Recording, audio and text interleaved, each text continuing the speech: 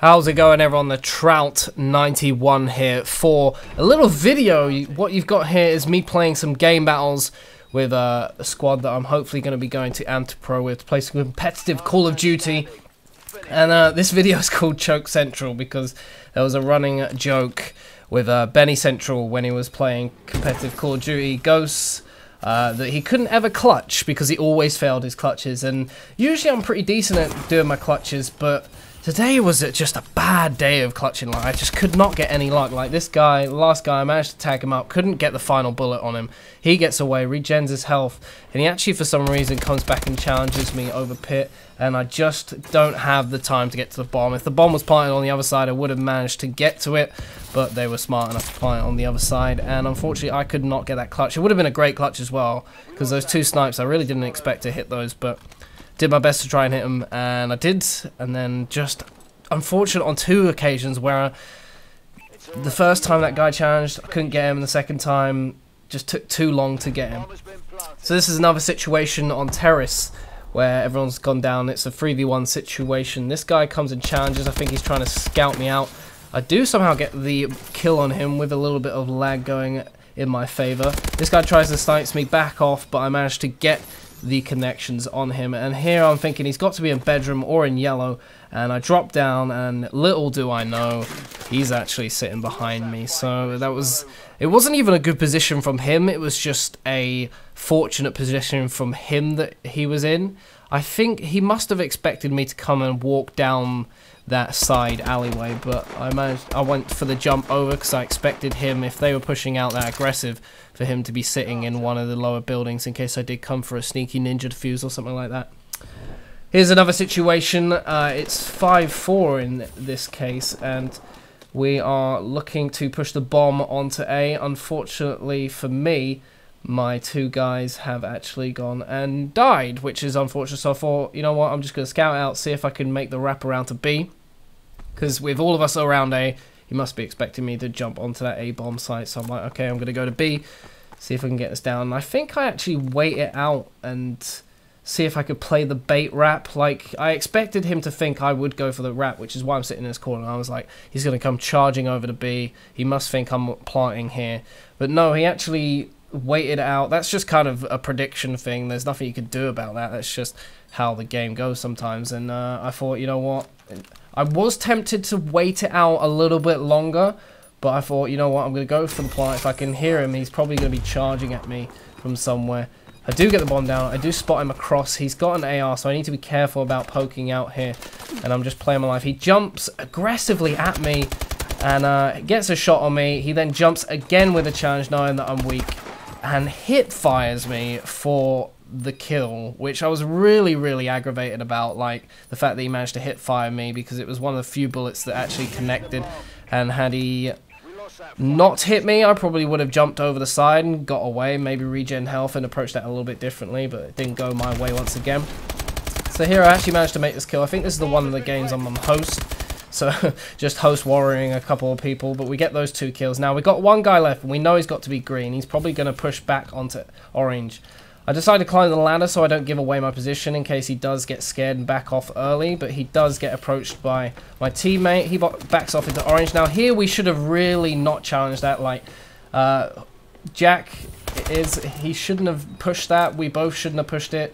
We should have just had him sitting on the outskirts, making sure that he didn't push through green. And I should have gone for the defuse, but it wasn't the best communication from us. Uh, I thought, you know what, I hit the Semtex on that, see if he does come orange. I expect him to come orange. He pushes green. I do get the kill, but because the bomb, once again, isn't in the right place, I can't get the crucial defuse.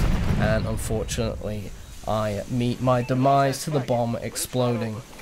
So it's really not going well. And these is this is only from two or three GBs today that I've been playing. Rest of the time we're playing pretty well. We're usually winning and I'm usually clutching up when I need to. But um, today was just not the case. It was a really, really difficult for me. Well, it wasn't even difficult. I was making the clutches. I just didn't ran out of time basically. Uh, I do get this one kill here. I'm looking for the other guy. I got the call out. He was in blue, so I was expecting him to go to blue. I didn't know which side we planted the bomb from. And because I didn't see the red light, I thought, oh, he must have planted it on the other side. And because I got the call he was a blue, I was going to push in a couple of seconds and check it out. But he had already jumped on it, which is smart play from the other team, and it was unfortunate on my account. So we're in to this match again, 5-4. And they've got the bomb down. I know guy's gone into building three. This guy's in purple. I'm going to take him out, and I need to know where the other guy is. I know he's probably not going to be sitting in free building or he's going to be at the bottom of the stairs, but I can't see him from this angle, so I need to try and cut him off and push him towards purple. Do get the challenge, do get some bullets. He's going to re-challenge me because he knows that I'm going to catch him out in the snow. I do get the kill, and I actually managed to get here somehow don't get the diffuse on this. Now, I don't know what's with the diffuse timer, if there's still this delay between you picking up the bomb or what, but for some reason, maybe I just missed it by literally a 0.1 seconds, but I didn't actually exo in the end in case I went over it, and I thought I've definitely got enough time to get this. Uh, it's going to be bang on like 7.58 seconds, and apparently it takes longer than 7.5 to get the diffuse according to that round. And uh, I was really really annoyed by that because um, we ended up losing this map as a whole. And we've actually got the final round coming up here as well there's another fail just to add the misery compiler as Spencer would say. Um, so I'm sitting in blue. I shouldn't have sat in blue really because our guys got flanked who was watching purple which meant that no one was watching his back. I actually land the melee here, pick up the IMR instinctively, realize it's got no bullets and I'm a little bit done for. Get the lucky Semtex stick. Now what really annoyed me about this is I got that Semtex stick and had I had bullets in my IMR I would have probably backed off and tried to get some shots on the other guy because the other guy was actually weak. So this dude comes flying around here and we all meet in the middle here. So I was like a little bit confused how the other guy didn't die as well. It was really annoying. Like if it had been delayed a couple seconds, he probably would have got exploded and died. But that's that. So here we are on Solar. This is the map after that last one. It's 2v3 at this point. I didn't actually know it was 2v3. I thought we had got a kill somewhere. I managed to escape with my life there. I knew this guy's probably got an IMR or a sniper based on how they were playing in the previous rounds. So I thought, okay, I can definitely challenge this and get the kill. So here I'm thinking it's a 1v1 situation. I expect them to challenge me. They know I've got to be a glass. I'm either going to wrap round so they would back off or they're going to push up glass and try and catch, cut me off, maybe pinch me uh, in my spawn. So I hang around, wait to see if I can see something, taking it very easy. I actually got some aim assist there. I saw something move, managed to get that guy. Now I thought that was the last guy, which is why I backed off here. And I thought, oh no, it's not the last guy, is it? So I've got to plant the bomb. And this guy knows I'm around here. He knows I don't have enough time to wrap around. And the IMR just about kills me. I was annoyed at this as well because I thought I managed to get the kill. I thought I had the final bullet. I think I was literally one bullet off killing this guy. And it's just another... It, it's kind of a silly thing on my own awareness, but also just unlucky that he managed to land the IMR bullets that he needed to. And I was literally one bullet off landing it to make the 3v1 clutch. But yeah, that was my day on this game. Uh, it sucked. I'm going to show you a nice little ace. Uh, we are playing 3v3s at the moment. We usually play 4v4s, obviously, but one of our guys wasn't on tonight, or whenever you're watching this, it'll be a Monday, so it'll be yesterday. So I thought I'd show you this just to show that I actually know what I am talking about in some capacity. So usually I, they'll push A on their first round, so I go to fire to check it out. Catch one out of guard. This guy challenges up A Street because they're pretty much committed at that point. I do get the kill, and I heard that the guy was in lower L.